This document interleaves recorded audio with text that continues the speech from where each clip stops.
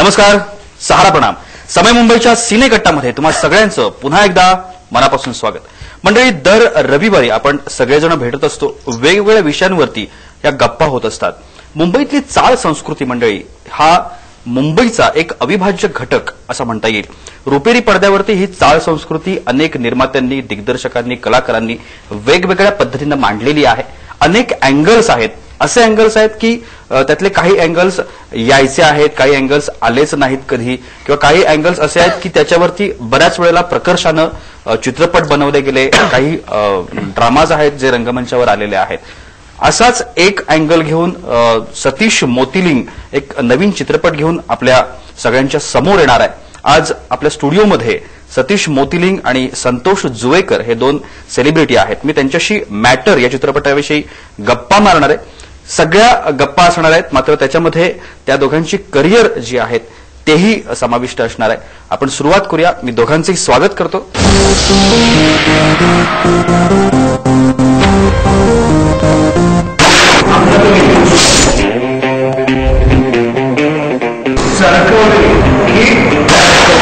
सतीश मोतिलिंग आणि संतोष जुवेकर. खूप खूप मनापासून दोघांचंही स्वागत. समय मुंबईच्या सिनेकट्टामध्ये दिग्दर्शकापासून सुरुवात करतो अर्थात. अर्थात प्लीज पहिला मॅटर घेऊन येतोय लोकांसाठी आणि मॅटर हा शब्द त्याचं काय मॅटर आहे हे मलाही चांगलं माहिती आहे कारण मीही मुंबईतल्या चाळीमध्ये राहिलेलो आहे. हे सुचलं कसं मुळात की अशा पद्धतीचा एक चित्रपट असावा आणि हा अँगल घेऊन आपण हा चित्रपट करावा? सुचलं कसं म्हणण्यापेक्षा मी खूपच प्रेरित होतो. शूट आउट एट लोखंडवाला वास्तव सारख्या चित्रपटांपासून. मला आवडतात. मला त्या प्रकारची गाणी आवडतात की गणपत पाणीला. तर अं, मराठी तशा प्रकारच्या फिल्मच नाही यायची आणि मला असं खूप वाटायचं की कोणीतरी असं करावं. अच्छा. सो जेव्हा मला प्रोड्युसर मिळाले तेव्हा मी असं ठरवलं त्यांनी ही माझी वन लाईन सांगितली मला अशा प्रकारची फिल्म करायची आहे. मला बऱ्याच लोकांनी सांगितलं की मे बी हे रिस्की असू शकतं. तर म्हटलं प्रत्येक वेळेस रिस्क रिस्कच फॅक्टर का असतो? म्हटलं एकदा करून बघूया. यशाचा पहिलं पाऊल असेल. आणि मॅटर केलं आणि Matter I think so Matter is successful because of all my celebrities specially Santosh Juvekar Jitendra Joshi Sushant Shelar and Rajesh Garpure पण ज्या पद्धतीनं तू मांडला आहेस हा चित्रपट जे कल्चर त्याच्यातून उभं करण्याचा प्रयत्न केला आहेस निश्चितपणानं त्याच्यावरती प्रश्नचिन्ह पण उभी राहिली असतील. असे अनुभव काही आले चित्रपट तयार करताना? नाही. असं असे काही काही अनुभव नव्हते. बेसिकली कसं होतं की आहे ना मॅटरचं कल्चर जे चाळीतलं कल्चर होते मी खूप जवळून अनुभवलेलं आहे. पाहिलेलं आहे किंवा मी जगलेलो आहे.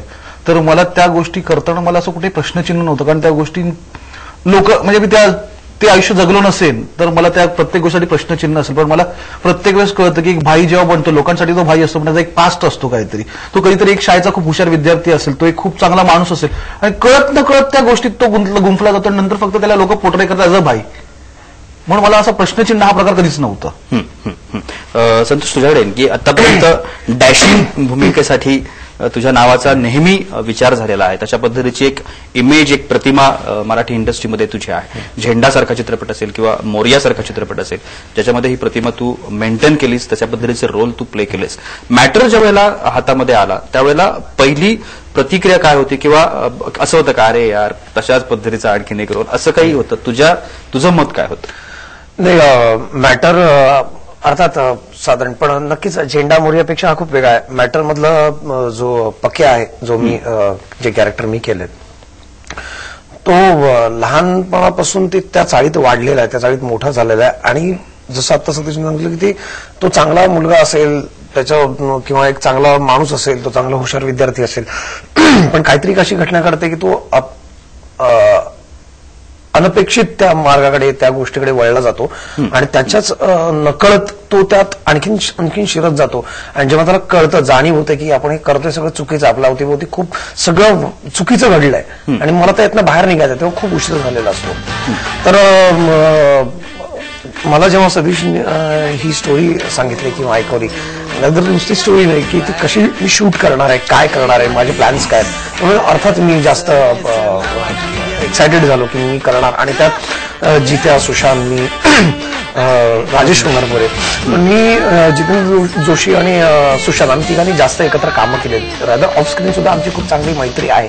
त्यामुळे अर्थात काम करताना मजाच येणार होती. आणि सतीश मुतलिंग यांच्याबरोबर मी फर्स्ट टाइम या फिल्ममध्ये काम करणार होतो. पण आपल्याला एक असतं ना फर्स्ट साईट लव म्हणता येईल. तसं पहिल्याच भेटीत अचानक अरे यार ये बंदे मी कुछ यार ये मजा आएगा इसके साथ काम करने में? तसं क्लिक झालं आणि म्हटलं यस मला हे करायचंय.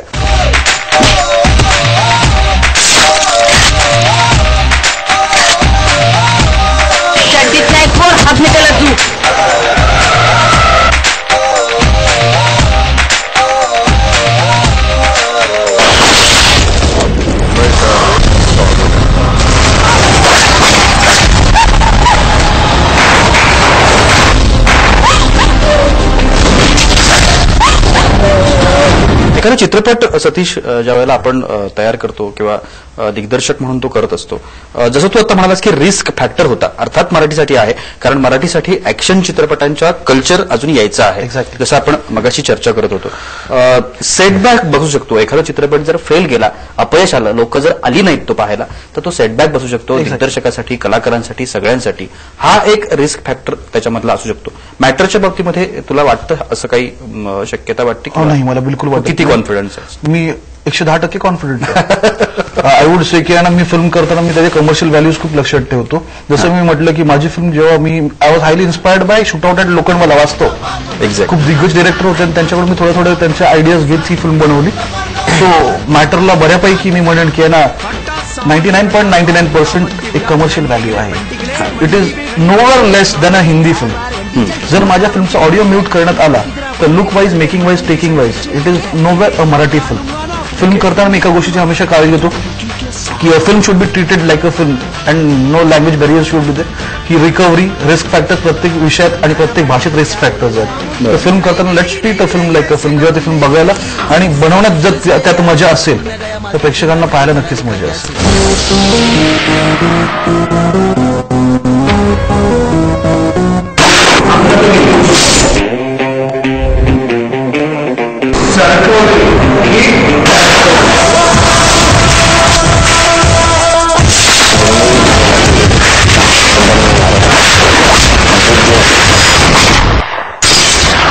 असं वाटतं की मराठी पण मध्ये पण तेवढं कॅलिबर आहे तेवढी कॅपॅसिटी आहे की ते प्रेक्षकांना म- असं बघायला आवडतं ना मग मराठीत आम्ही असं देऊ शकतो.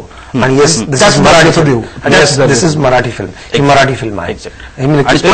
ट्रेंड आपण या निमित्तानं येईल मराठीमध्ये आणि त्याचा निश्चितपणानं विचार होईल असं आपण म्हणू शकतो. संतोष मला थोडस बॅकमध्ये जायचं आहे कारण त्याच्या अगोदरचे तू केलेले जे सिनेमा आहेत झेंडा असेल किंवा मोर्याचा जसा आपण दोन्ही चित्रपटांचा मगाशी उल्लेख केला. अशा पद्धतीचे रोल ज्या वेळेला येतात चित्रपटामध्ये त्यावेळेला एक तर आपलं कुठेतरी नाळ तशा पद्धतीच्या कल्चरशी जोडलेली आहे की काय? किंवा आपल्याला आपण जवळून पाहिलं हे सगळं कल्चर. मला डिझाईन करायला वेळ नाही लागणार किंवा मला ते प्ले करायला वेळ नाही लागणार. तुझं ऍक्च्युली या सगळ्यामध्ये येणं किंवा तुझं जे काही बॅकग्राऊंड आहे त्याच्याविषयी थोडंसं सांगणार. ते एक तर सुरुवात जी रफ टफ किंवा जसं आता तुम्ही म्हणालात की डॅशिंग रोल वगैरे. त्याची सुरुवात नक्कीच म्हणजे या गोजीरवाडा घरातपासून झाली आहे. हा. या सिरियलपासून जिथून ही इमेज तयार झाली. शेखर परांजपे या कॅरेक्टरमुळे आणि अर्थात त्यानंतर मग काही सिरियल्स केल्या आम्ही. पण ती इमेज आजही लोक मला ते शेखर परांजपे म्हणून ओळखतात. आजही ते मला तेवढंच ऍडमायर करतात की शेखर तुम्ही तुम्ही शेखर परांजपे किंवा तुम्ही जे केलं ते त्याच्यानंतर मला कोणी आवडलं नाही. सॉरी म्हणजे. बाकीच्यांनी खूप छान कामं केलीत नाही असं नाही. पण एखादी प्रतिमा लोकांच्या मनात बसून जाते. पण जेव्हा नंतर परत एकदा त्या गोष्टीने उचल घेतली ती झेंडामुळे. त्या परप्रांतीयांचं तंगड तोडायची वेळ आली आता. अरे तोडायचं ना भाई. तोडायला पाहिजे. रस्त्यावर काढून मारू एकेकाला. पाठवून देऊ परत. आपण. मी मला सांग. आपण सगळं काकासाहेबांबरोबर राहून पण करू शकतो ना यार? थोडस रोलबद्दल थोडस सोडून मी सांगेन की इनबिल्ड कुठेतरी माझ्यात ते आहे. जसं आता तुम्ही म्हणालात की रिअल लाईफमध्ये पण. तर हो तो अनुभव आहे. ज्या एरियात मी किंवा ज्या एरियात मी वाढलोय लहानाचा मोठा झालोय जी माझे मित्र आहेत. त्यामुळे असं नाही. संस्कार नक्कीच चांगले वेळेचे. पण असं काही वाईट नाही. पण कधीच असा मवाळपणाने कधी वागलोच नाही ना शाळेत ना कॉलेजमध्ये. त्यामुळे रोगबाईट होगच लाईफमध्ये कारण सगळे आतापर्यंत ते नक्कीच अं, जे काही केलं घरचं कुणावर काही संबंध नाही या क्षेत्राशी. आणि जर तुम्हाला मला असं वाटतं की जर तुम्हाला स्टँड व्हायचं असेल आत्ताच्या जर कॉम्पिटिशन मार्केटमध्ये तर तुम्हाला फार सॉरी पण फार नम्र होऊन चालत नाही. थोडंसं आरेला कार्य करावं लागतं आणि थोडंसं ते आणि मग ते थोडंसं या गोष्टीसाठी करता करता थोडंसं इनबिल्ट कुठेतरी असतं. त्यामुळे ते होतं. ते आपण येऊ शकत नाही. आणि पुन्हा एकदा मी झेंडाकडे येतो. जेव्हा अवधूतनी हे फिल्म लिहिली अवधूत गुप्तेंनी. तेव्हा संत्या हा फिल्म जेव्हा त्याच्या डोक्यात थॉट आला अवधूतच्या तेव्हाच त्याच्या डोक्यात संत्या हा संतोष बात. आणि त्यांनी तो मला डोळ्यासमोर ठेवून म्हणजे नंतर माझ्याकडे बघून की तो कसा वागेल काय वागेल. तसंच त्यांनी कॅरेक्टर दिलं. आणि सर्वात मेन म्हणजे जेव्हा अवधूतने एक्सप्लेन केला ना तेव्हा मला माझे काही मित्र आहेत जे संत्या शिंदे आहेत हा. रील मला त्यांचा खूप उपयोग झाला. रादर त्यातले जे काही शब्द आहेत जे मी कधी माझ्या रील मध्ये वापरत नाही की काय वार्ता करतोय. डोक्याची दही करतोय. एक एक चपटी मारली कावटी फुटायला वेळ लागला ना भाई तर त्या पण आपल्या पण या गोष्टी खूप एकतर म्हणतो कलाकार हा एक चांगला ऑब्झर्वर असावा. Exactly. चांगलं ऑब्झर्वेशन तुमचं असेल तुम्हाला ते उपयोगी पडतं तसंच मग ते पुढे होत गेलं लोकांना ते आवडलं ते आवडलं मग मी रेंगारिंगा केला रेंगा रेंगारिंगामध्ये मी निगेटिव्ह रोल केला. बरोबर. त्यात मी कंप्लीट किलरचा रोल होता.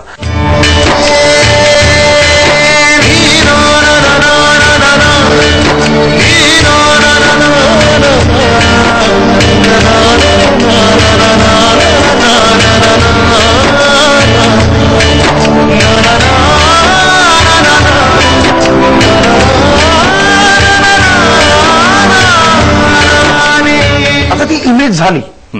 आज मी जेव्हा बाहेर जातो ना तेव्हा मला मी कुठे हॉटेलमध्ये जेवायला गेलो कुठे बाहेर गेलोय तर मला ते जे काही कार्य करते किंवा मला जास्त जी युथ मुलं ना ती मला अशी हा भाई मग त्यांच्याशी मला जय महाराष्ट्र करूनच बोलत जय महाराष्ट्र. बोलतो भाई.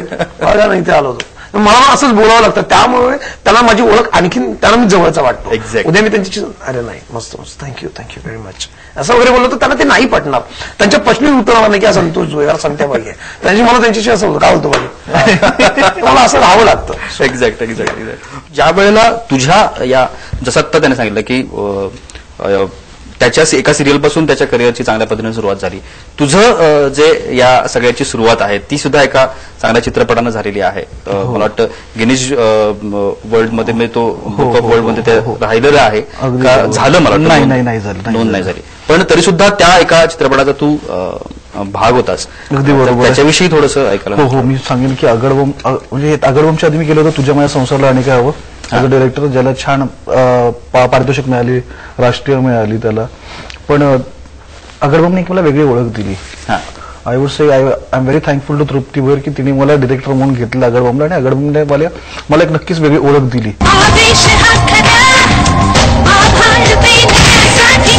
जगाची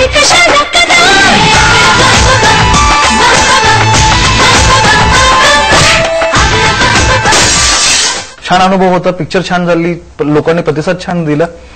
सो मी अगडबमला कधीच विसरणार नाही. नक्कीच नक्कीच. तुझ्या करिअरची तशा माझ्या करिअरला कलाटणी अगडबमनी दिली. नक्कीच नक्कीच नक्कीच. मी पहिल्या विश्रांतीसाठी थांबणार आहे. मात्र कुठेही जाऊ नका. यानंतर आपण आणखीनही मॅट्रीविषयी बोलणार आहेत. आणखीनही यांच्या आयुष्यातले त्यांचे काही अनुभव आहेत. तेही आपण शेअर करून घेणार आहोत.